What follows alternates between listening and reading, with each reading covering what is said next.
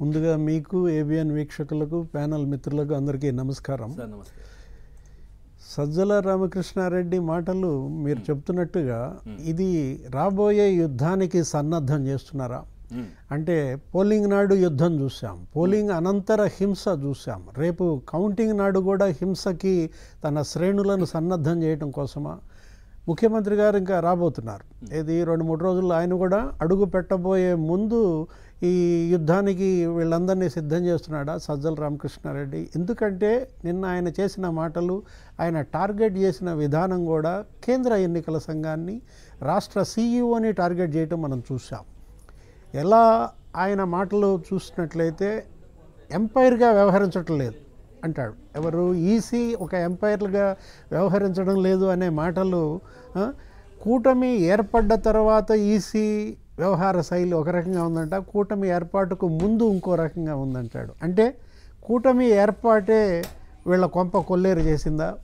కూటమి ఏర్పాటు పట్ల ఒక భయం కనపడుతోంది ఓటమి భయంతోనే సజ్జల రామకృష్ణారెడ్డి మాటలను మనం చూడాలా? గెలుస్తామన్న ధైర్యం లేకపోవటం ఒక అభద్రత భీతి అతని మాటల్లో కనపడ్డాయన్నమాట. ఇప్పుడు ఇచ్చినటువంటి విషయం ఇన్నాళ్ళు ఏమైపోయాడు అసలు సజ్జల రామకృష్ణారెడ్డి? పది రోజులుగా పత్తా లేనటువంటి వ్యక్తి నిన్న స్క్రీన్ మీదకి వచ్చారు. ఒక ఫైవ్ డేస్ బ్యాక్ ఏదో ట్వీటో ప్రెస్ రిలీజో చేశారు.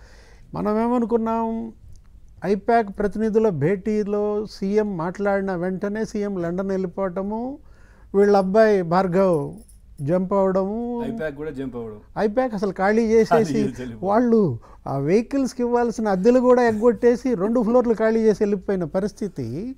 భార్గవ్ అబ్స్కాండ్ అయ్యాడు. తండ్రి కూడా అబ్స్కాండ్ అయ్యాడని అనుకున్నాం. అలాంటిది నిన్న ప్రెస్ మీట్ ఆయన ముందుకొచ్చి మాట్లాడిన మాటల్లో కూడా నేరుగా ఈసీని టార్గెట్ చేయడం అనేది దారుణం అనమాట ఏది అసలు కేంద్ర ఎన్నికల సంఘం ఒక నెల పదిహేను రోజుల క్రితం ప్రభుత్వ సలహాదారుల యొక్క రోల్ గురించి చెప్పింది. ఏది? ప్రభుత్వ సలహాదారు ప్రభుత్వ జీతభత్యాల మీద ఉన్నారు క్యాబినెట్ మినిస్ట్రీ వాళ్ళు ఎంజాయ్ చేస్తున్నారు వాళ్ళు పొరపాటును కూడా ప్రభుత్వ వ్యతిరేకంగా మాట్లాడకూడదని. ఈయన ఏ హోదాలో మాట్లాడాడు? సజ్జల నిన్న ప్రెస్ మీట్ ఆయన ప్రభుత్వ సలహాదారుగా ఉంటూ ఎన్నికల సంఘం సీఈఓనే టార్గెట్ చేశాడంటే కేంద్ర ఎన్నికల సంఘం ఎందుకు ఇంత ఉదాసీనంగా ఉంటుంది? ఇప్పుడు హద్దు దాటిన వాళ్ళని శిక్షింపబడాలి. ఇతను గీత దాటాడు. ఎందుకని ప్రభుత్వ సలహాదారుగా ఇతనిపైన చర్యలు లేవు? మనకు అర్థం కానటువంటి అంశం. నిన్న మాట్లాడుతూ ఆయన ఏమంటారు? పిన్నెల్లిని టార్గెట్ చేస్తున్నారు. మాచర్లలో టీడీపీ ఎల్లో మీడియా ఉగ్రవాదులుగా మారిందంట.